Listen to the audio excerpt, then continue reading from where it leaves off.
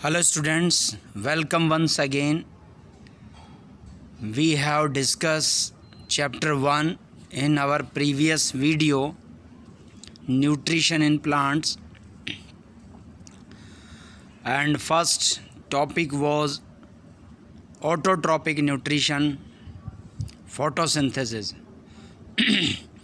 Today we will discuss about another type nutrition that is called heterotrophic nutrition. In heterotrophic nutrition we have already discussed that organisms can't prepare their own food. It is totally depend on another organism for their food. Okay students let's know about further topics and question answer if you have any problem you can call or sms me on the given number let's start remains lesson heterotrophic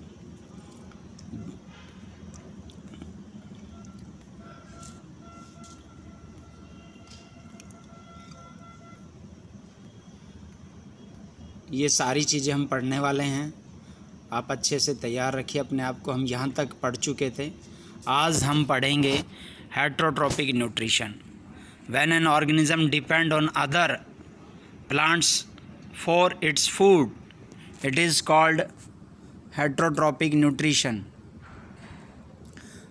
example animals bacteria and fungi can't prepare their own food they are depend directly or indirectly on the green plants for their food. Now we will discuss types of heterotrophic nutrition parasitic saprophytic or symbiotic mode. First is parasitic plant which exhibit parasitic mode of nutrition are called parasitic parasites obtain their nourishment from other living organisms. In this nutrition plant depend on other plant or animal for their nourishment plants are called parasites and the one on which parasite depend are called host. एक plant दूसरे plant के ऊपर depend रहता है। जिस पर depend रहता है, उसको होस्ट कहते हैं और जो डिपेंड रहता है, दूसरों से पोषण प्राप्त करता है, उसको हम पैरासाइट्स कहते हैं। यहाँ पे एग्जांपल आप देख सकते हैं। Mistletoe is a parasite plant plant. Misteliote is a parasite plant which receive water and minerals from the host plants. यहाँ पे आप मिस्टेलियोटोई की हम डेफिनेशंस के साथ साथ इसके डायग्राम को देख लीजिए कैसा होता है। दूसरा आप यहाँ देख रहे हैं कैस कटा। कैस कटा जिसे हम अरवेल कहते हैं। दूसरे प्लांट में जब ये डाल दी जाती है तो वहाँ से ये पूरा अपने हिस्टोरिया जो स्पेशल रूट्स होती हैं इनकी, उनसे ये चूसते हैं। सामने वाले जिस प्लांट पे डाली जाती है, उनके न्यूट्रिशन तो अमरबेल इसे हिंदी में कहते हैं सेकंड है insectivorous plants insectivorous plants are the plants with special leaves that are modified into special structures. These structures have the ability to trap insects and small animals. कुछ स्पेशल इनके स्ट्रक्चर्स होती है पत्तियों में, जो कि दूसरे जीवों को ट्रैप करती हैं, पकड़ती हैं। एग्ज़ाम्पल है pitcher plants has its leaves modify into pitchers closed with leaves वो पीचर्स की टाइप में बटी रहती हैं, बनी होती हैं वो, और वो क्लोज़ कर लेती है अपनी पत्तियों को। जैसे ही कोई छोटा ऑर्गेनिजम्स उनके कांटेक्ट में आता है, अंदर वो कैद हो जाता है और हाइड्रोलिटिक एंजाइम्स होते हैं, उन एंजाइम्स की मदद से वह उस छोटे से जीव को मार देता है, सड़ा देता है, गला देता है और उससे जो निकलने वाली जो डिकम्पोजिंग गैस है नाइट्रोजन जैसी, उन चीज़ों को ये एब्जोर करते हैं तो आप यहाँ देख रहे हैं Venus fly trap and pitcher plants Venus flytrap feeds on the small animals and insects to obtain their nourishment. These plants especially obtain the nitrogen by Mm, they require from insects and small animals अब बात करते हैं हम third C की बात कर रहे हैं। Saprophytic plants which exhibit saprophytic mode of nutrition are known as saprophytes saprophytes are the plants that obtain their nutrition from decaying organic material जो सड़ गल जाते हैं, मर जाते हैं, उनकी हम बात कर रहे हैं यहाँ। उनसे अपना भोजन लेते हैं ये। तो यहाँ पे एग्जांपल्स की बात करें तो यहाँ पे हम देख रहे हैं, ये मशरूम आप देख रहे हैं जो सड़े गले मृत पदार्थ होते हैं, उनसे ये भोजन अपना प्राप्त करते हैं। आपने देखा होगा जहाँ पे कचरा या कूड़ा, छिलके और गोबर वगैरह डालते हैं, वहाँ पे ये मशरूम आपने वहाँ पे देखी होगी। Mushroom is the another example of plants then we talk about lichen. Lichen are the example of symbiotic. Symbiotic it means यहाँ लाइकेन के अंदर दो ऐसे प्लांट्स होते हैं जो एक दूसरे को फ़ायदा पहुँचाते हैं।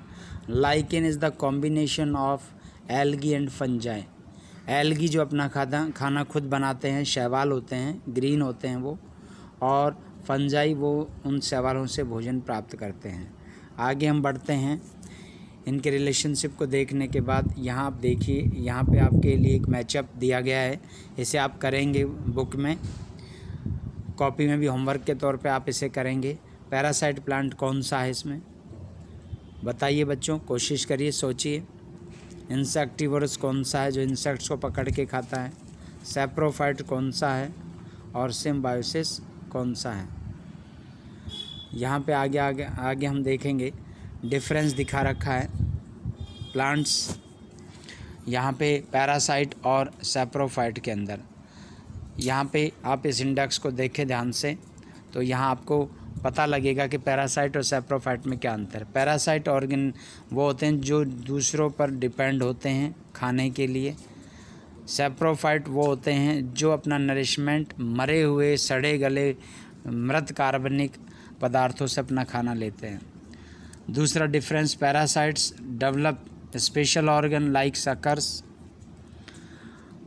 hooks और hysteria for obtain their nourishment while saprophytes capable of secreting some enzymes, hydrolytic enzymes, which digest simple organisms.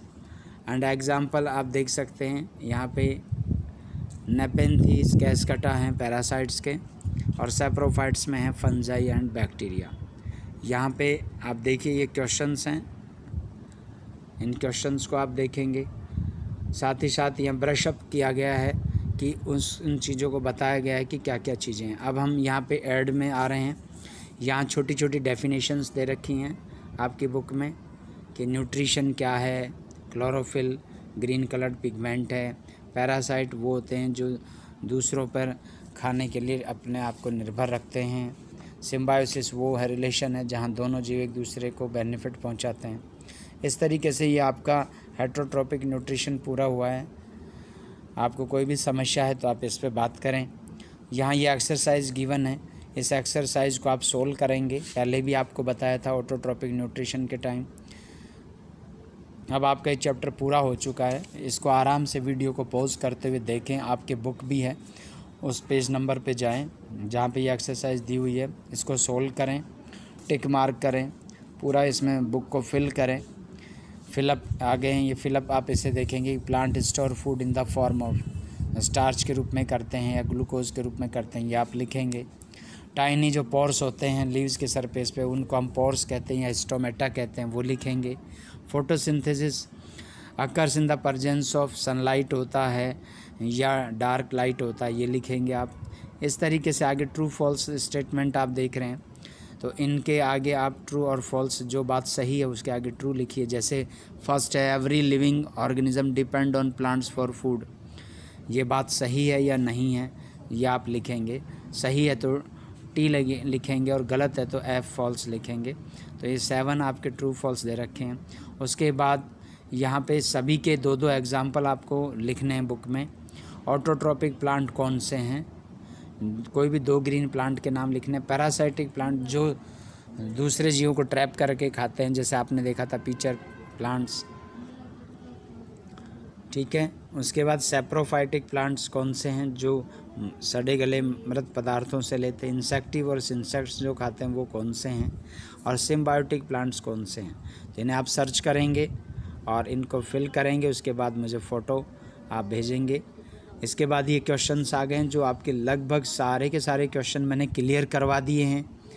Nutrition क्या है ऑटोट्रॉपी क्या है क्लोरोफिलिक पिगमेंट है ग्रीन पिगमेंट जो फोटोसिंथेसिस में काम आता है ग्रीन लीव्स में होता है।